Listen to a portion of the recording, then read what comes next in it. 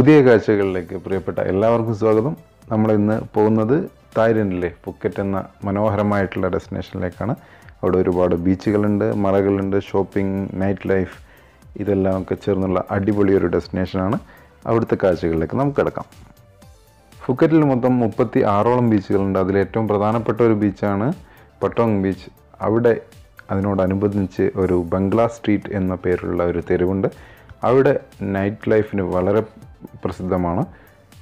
വൈകുന്നേരം ആറ് മണി മുതൽ രാവിലെ നാല് മണി വരെ വളരെ ലൈവായിട്ടുള്ള ഒരു സ്ട്രീറ്റാണ് ഇത്. ഇവിടെ നമുക്ക് ഒരുപാട് റെസ്റ്റോറന്റുകൾ ബാറുകൾ അതുപോലെ എന്റർടൈൻമെന്റ് ഷോപ്പിംഗ് ഫെസിലിറ്റീസ് എല്ലാം അവൈലബിൾ ആയിട്ടുള്ള ഉറങ്ങാത്ത ഒരു തെരുവാണ് ബംഗ്ലാ സ്ട്രീറ്റ്. അവിടെ ജസ്റ്റ് നമ്മൾ നടന്നു പോകുമ്പോൾ തന്നെ നമുക്കതിന്റെ ഒരു ഫീൽ കിട്ടും. ഒരു വളരെ വ്യത്യസ്തമായിട്ടുള്ള ഒരു അനുഭവമാണ് അത്.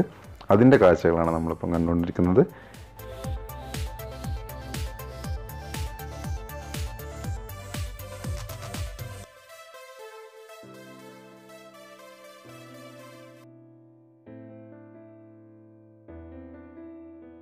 ഭക്ഷണത്തിന്റെ രുചി വൈവിധ്യം തേടുന്ന ആളുകൾക്ക് ഒരുപാട് എക്സ്പ്ലോർ ചെയ്യാനുള്ള ഫുഡ് ഐറ്റംസ് നമുക്ക് സ്ട്രീറ്റിലുടനീളം അവൈലബിൾ ആണ്. ജങ്സി ലോൺ എന്നുള്ളത് മെയിൻ ഒരു ഷോപ്പിംഗ് സെന്ററാണ് ബംഗ്ലാ സ്ട്രീറ്റിന് വളരെ അടുത്താണ് ഇത് സ്ഥിതി ചെയ്യുന്നത്. ബംഗ്ലാ സ്ട്രീറ്റിൽ നമുക്ക് ഒരുപാട് ട്രാൻസ്ജെൻഡർ ഡാൻസേഴ്സിനൊക്കെ കാണാൻ പറ്റും. അവർ പ്രത്യേക രീതിയിൽ വസ്ത്രമൊക്കെ അണിഞ്ഞ് നിൽക്കുന്നുണ്ട്. നമുക്ക് ആർക്കെങ്കിലും വേണമെങ്കിൽ അവരുടെ കൂടെ പോയി ഫോട്ടോ എടുക്കാം. പക്ഷേ അതിന് അവർക്കൊരു ചെറിയൊരു ചാർജ് കൊടുക്കേണ്ടി വരും. അതാണ് അവരുടെ ഒരു വരുമാന മാർഗം. അങ്ങനെ വളരെ വ്യത്യസ്തമായിട്ടുള്ള ഒരുപാട് കാഴ്ചകളുമായിട്ട് അങ്ങനെ ആ രാത്രി അവിടെ ചിലവഴിച്ചു. അങ്ങനെ അടുത്ത ദിവസം രാവിലെ ഫിഫി ഐലൻഡ് ടൂറിന് പുറപ്പെട്ടു. ഒരുപാട് കാത്തിരുന്ന ഒരു ടൂറായിരുന്നു ഇത്. കാരണം ഫിഫി ഐലൻഡിനെ കുറിച്ചൊക്കെ മുമ്പ് ഒരുപാട് കേട്ടിട്ടുണ്ടായിരുന്നു. അങ്ങനെ മനോഹരമായിട്ടുള്ള ഒരു ഡേ ട്രിപ്പിന് നമ്മൾ രാവിലെ ഹോട്ടലിൽ നിന്ന് പുറപ്പെട്ടു. അവരുടെ ടൂർ കമ്പനിയുടെ ഒരു വാൻ വന്ന് നമ്മൾ പിക്ക് ചെയ്ത് മെയിൻ ബോട്ട് ജെട്ടിയിൽ കൊണ്ടുപോയി. അവിടുന്ന് ഒരു പത്ത് മുപ്പതോളം ആളുകൾ ഒരു ചെറിയ ബോട്ടിൽ പുറപ്പെട്ടു. ഒരുപാട് മലനിരകളും കുറേയധികം ബീച്ചുകളുമുള്ള അതിമനോഹരമായിട്ടുള്ള കാഴ്ചകളാണ് നമുക്ക് ഫുക്കറ്റിൽ കാണാൻ കഴിയുക. ഫുക്കറ്റിന്റെ പ്രധാന വരുമാന മാർഗം ടൂറിസം തന്നെയാണ്. അതിനെ കൂടാതെ latex cashew nut palm oil frozen fish എന്നൊക്കെയുള്ള വരുമാന മാർഗങ്ങളാണ് അത് കയറ്റുമതി ചെയ്തിട്ടൊക്കെയാണ് അവരുടെ വരുമാനമുള്ളത്. ഏതാണെങ്കിലും ടൂറിസം അവരുടെ പ്രധാന വരുമാനമായതിന് പിന്നിൽ അവിടുത്തെ മനോഹരമായിട്ടുള്ള ഈ ബീച്ചുകൾക്ക് വലിയ സ്ഥാനമാണുള്ളത്.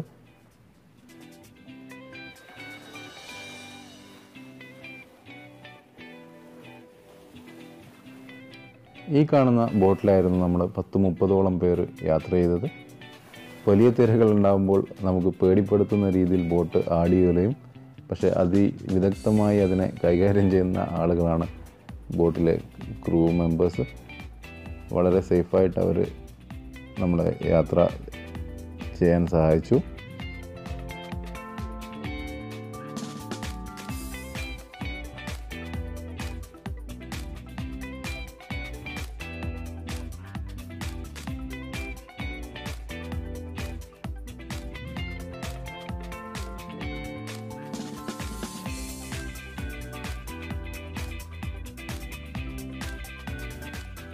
ആൻഡമാൻ കടലിന്റെ കണ്ണഞ്ചിപ്പിക്കുന്ന സൗന്ദര്യം നുകർന്നുകൊണ്ട് കുറേ സമയം യാത്ര ചെയ്യാൻ പറ്റി.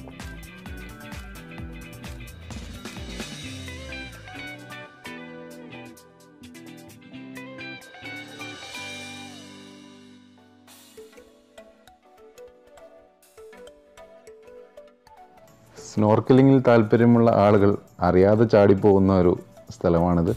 ആഴം കുറഞ്ഞ അതിമനോഹരമായിട്ടുള്ള ഒരു ഭാഗമാണ്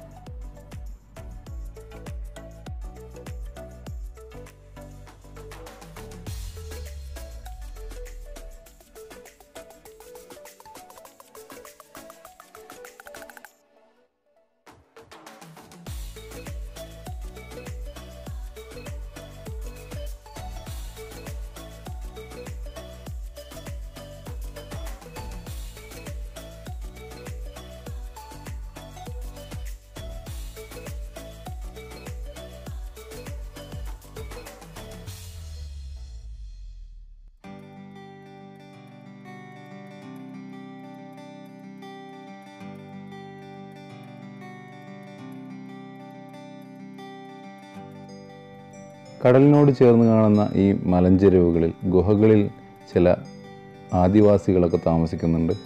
അതിന്റെ കാഴ്ചകളൊക്കെ കാണാൻ പറ്റി. ഈ ഭാഗങ്ങളിൽ ലഭ്യമായിട്ടുള്ള സീവീഡ് കഴിച്ചിട്ടാണ് അത്ര അവരവരുടെ ജീവിതം മുന്നോട്ട് നീക്കുന്നത്. അങ്ങനെ ഇരിക്കെ വളരെ ശക്തമായിട്ടുള്ള തിര ബോട്ടിനുള്ളിലേക്ക് അടിച്ചു. എല്ലാവരും നനഞ്ഞു. ഞാൻ ഒറ്റയ്ക്കായിരുന്നു ഈ ട്രിപ്പിന് പോയിട്ടുണ്ടായിരുന്നത്. അങ്ങനെ ബോട്ടിൽ വെച്ച് പരിചയപ്പെട്ടതാണ് അദ്ദേഹത്തെ നബീൽ എന്ന പേരുള്ള ബഹ്റൈൻ സ്വദേശിയാണ് അദ്ദേഹം. അങ്ങനെ നമ്മൾ ഒരുമിച്ച് ലഞ്ചെല്ലാം കഴിച്ച് നമ്മുടെ ബാക്കിയുള്ള ടൂറിന് തയ്യാറായി. നമുക്ക് ലോബ്സ്റ്റേഴ്സൊക്കെ അവിടെ ലൈവ് ലോബ്സ്റ്റേഴ്സൊക്കെ നമുക്ക് കുക്ക് ചെയ്ത് കിട്ടും. അതുപോലെ കോക്കനട്ട് ഐസ്ക്രീം വളരെ ഫേമസ് ആണ്. അങ്ങനെ കാഴ്ചകൾ കണ്ട് നമ്മൾ അടുത്ത ദിവസം രാവിലെ ഫുക്കറ്റിൽ നിന്നും ബാങ്കോക്കിലേക്ക് തിരിച്ചു. അതിന്റെ ടേക്ക് ഓഫ് കാഴ്ചകളാണ് ഇപ്പം കാണുന്നത്.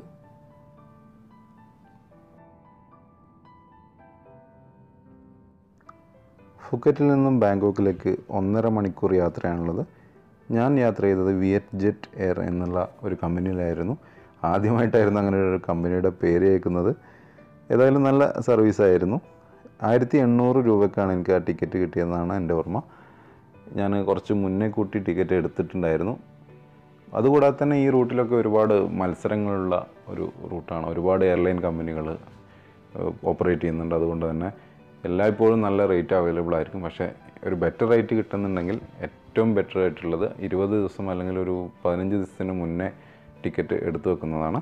അപ്പോൾ ഇനി യാത്ര ചെയ്യാൻ ഉദ്ദേശിക്കുന്നവരൊക്കെ ശ്രദ്ധിക്കുക. അങ്ങനെ നമ്മുടെ വിമാനം ഫുക്കറ്റ് ഇന്റർനാഷണൽ എയർപോർട്ടിൽ നിന്ന് ടേക്ക് ഓഫ് ചെയ്തു. വടക്കോട്ട് തിരിഞ്ഞു. ഇനി വടക്കോട്ട് ഒരു ഒന്നര മണിക്കൂർ യാത്ര ചെയ്ത് കഴിഞ്ഞാൽ നമ്മൾ ബാങ്കോക്ക് ഇന്റർനാഷണൽ എയർപോർട്ടിലെത്തും. അവിടുന്ന് നമുക്ക് ഒരുപാട് പുതിയ കാഴ്ചകളിലേക്ക് പോകാനുണ്ട്.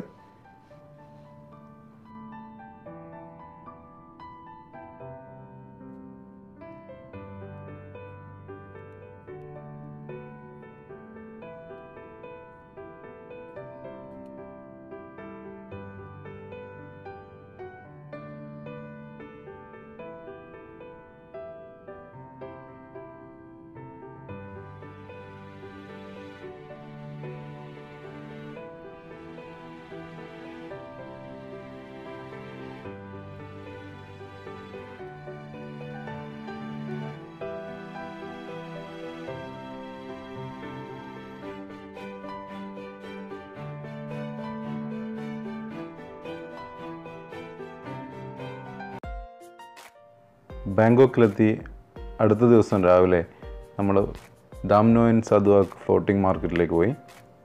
ഫ്ലോട്ടിംഗ് മാർക്കറ്റിന്റെ കൺസെപ്റ്റ് എന്ന് പറയുന്നത് ചെറിയ തോണികൾ ഇതുപോലെ ഫ്രൂട്ട് വെജിറ്റബിൾ അങ്ങനെയുള്ള എല്ലാം വിൽക്കുന്ന ആളുകളുണ്ടാവും. നമുക്ക് താല്പര്യമുള്ള സാധനങ്ങൾ അവിടുന്ന് വാങ്ങിക്കാം. ഇപ്പോൾ അതൊരു ട്രഡീഷണൽ ആയിട്ടുള്ള ഒരു സംഗതിയായിരുന്നു. ഇപ്പോൾ കൂടുതലായിട്ട് ടൂറിസ്റ്റുകൾ വരുന്നതുകൊണ്ട് ടൂറിസ്റ്റുകളെ ഫോക്കസ് ചെയ്തുകൊണ്ടിട്ടുള്ള മാർക്കറ്റ് ആയിട്ട് മാറിയിട്ടുണ്ട്. ഇപ്പം തെരുവ് ഇതിന്റെ സൈഡിലെല്ലാം നമുക്ക് ഒരുപാട് ഷോപ്സും കാര്യങ്ങളെല്ലാം അവൈലബിൾ ആണ്. നമുക്ക് വേണ്ട കാര്യങ്ങൾ നമുക്ക് വാങ്ങാം കഴിക്കാം. അങ്ങനെയുള്ള ഒരുപാട് കാഴ്ചകൾ നമുക്ക് കാണാൻ പറ്റും. അങ്ങനെ ഒരു ഡിഫറെന്റ് ആയിട്ടുള്ള ഒരു അനുഭവമാണ് ഫ്ലോട്ടിംഗ് മാർക്കറ്റിലൂടെയുള്ള ഈ ടൂറ്